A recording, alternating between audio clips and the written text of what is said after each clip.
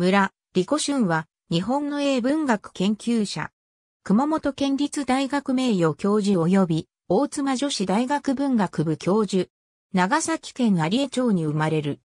1974年鹿児島大学法文学部を卒業後すぐ、九州大学大学院文学研究科修士課程に入学し、1978年博士課程を中退後、和歌山大学教育学部に助手として採用される。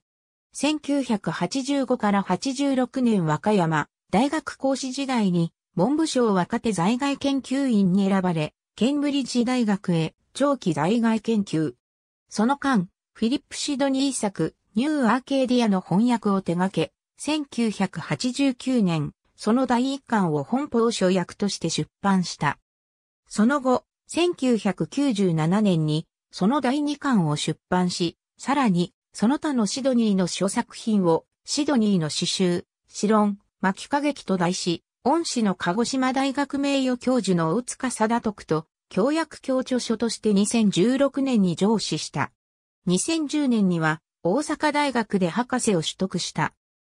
勤務先としては、和歌山大学教育学部、福岡教育大学、福岡県立福岡女子大学文学部、熊本県立大学文学部で、専任教員として39年間、またこの間、京都大学、大阪外国語大学、北九州市立大学、九州大学、西南学院大学、熊本大学、鹿児島大学を、はじめ多くの大学で非常勤講師として教え、数多くの学部生及び大学院生を育てた。また、長年、日本英文学会九州支部の機関誌、九州英文学研究の編集委員そして編集委員長を無た。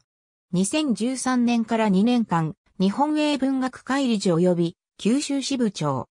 平成21、22、23年度には、文部科学省大学設置、学校法人審議会、文学専門委員会委員を務めた。65歳での定年の3年後、大妻女子大学に採用され、現在に至る。